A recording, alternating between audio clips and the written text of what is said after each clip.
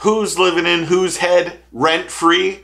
That's what we're going to talk about in that drama right now. So before we get started, if you can do me a favor, click that like and subscribe button, become part of the team and family, and thank you. If you've been living under a blanket for the last couple weeks, Ben Milliken and Randy Blaukat have been at it nonstop. Randy is a big influencer and Ben is an even bigger influencer. Both have great YouTube channels, but they don't see eye to eye on forward facing sonar. Now, let me preface before we get into it. I respect both of them very much. I don't watch a lot of Randy's stuff. That's the truth. I don't want, I ha- I do watch more Ben stuff than I do Randy. Randy puts out two or three videos a day. Mostly are clickbait oriented, but that's not saying Ben doesn't clickbait us all the time too. Randy is just really good at it. But when you do a video on why Taylor Swift and Travis Kelce have an effect on bass fishing, I probably won't ever watch your channel. I just think it's stupid and ridiculous. Having said that, Ben has done it to me many times. The best lure you could ever use, and it's a Kamushi or whatever it is, and then you go on and watch the video, and there's nothing being said at all about that bait. They both have to do that. Randy is more honest with his subscribers, saying, I have to do it or else I don't get the views. It's the problem with YouTube. There's so much competition that you have to say and do things to get people to watch their video, just like this one. I spent, no joke, 30 minutes making this thumbnail because I thought it was funny. And I've watched the two of them go at it back and forth a lot lately. But is Randy jealous of the success Ben has? I don't know. I think that Randy makes videos to continue to make money, which is perfectly fine on this platform. It's YouTube is really tough to be honest. What Randy's done in the last couple years has been phenomenal. What Ben has done is even better. Ben is probably one of the kings of the internet for bass fishing content. He is well recognized, well respected, and what he did last year to make the elites is pretty awesome. It's actually really awesome. I tried to interview him while he was down here at the Harris chain on the last day, but I had to leave to go take care of my little boy because he was in a swim competition and Ben got in late. And quite honestly, when I did get up to his boat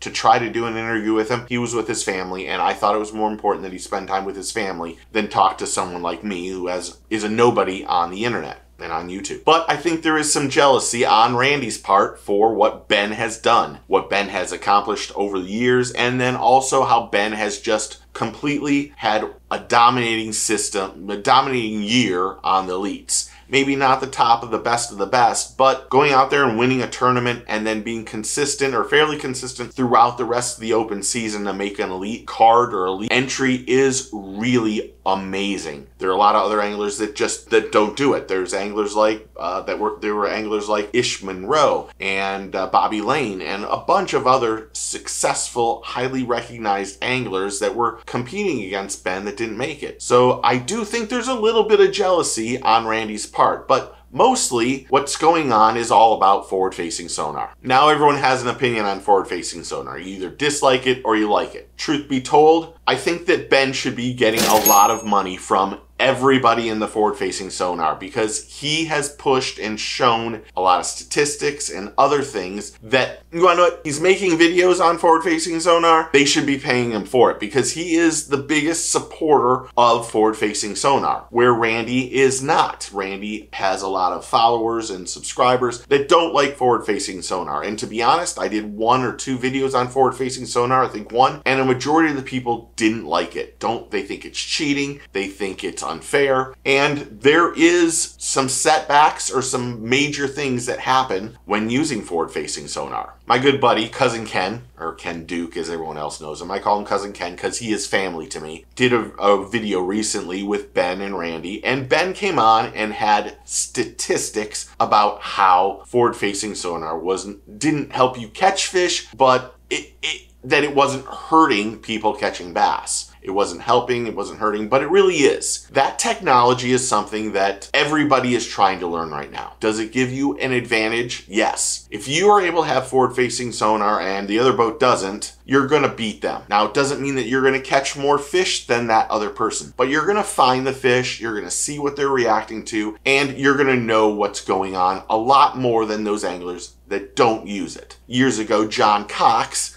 and this is just some background stuff. John Cox was probably 16, 17, 18, 19 months as the number one angler in the world, and he did not use it. So over the last few years, John Cox has not been to that dominating status that he once was because the anglers that are using forward-facing sonar are doing better. Even in the video that that uh, Ben did just a couple days ago, it showed that more fish are being caught in the last couple years. I know that's weird to say, and, and it doesn't mean that forward-facing sonar is hurting bass, but it does help an angler and it's it's a technology and something that all pros need to have and they need to be proficient at it too because when you get in certain areas of the country that forward facing sonar does help now when you're down south here in florida i don't think it works as well. Having said that years and years ago and i say rest in peace to my good buddy aaron martens he used it on on toho and i was shocked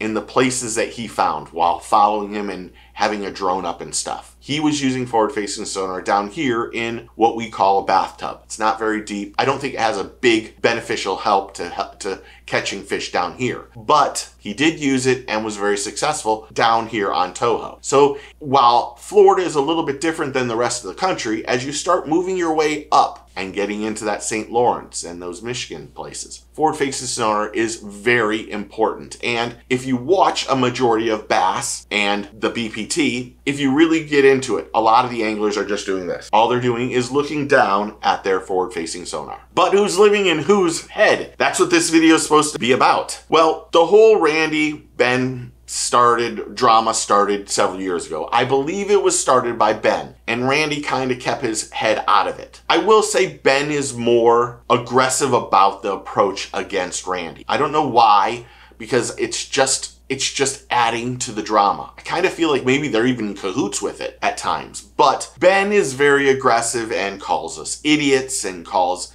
puts on a face mask and puts on stuff on his on his chest, on his shirt, and it's kind of a little childish because I do believe Ben is a better person than that. Now Randy, I think, does those videos just for views.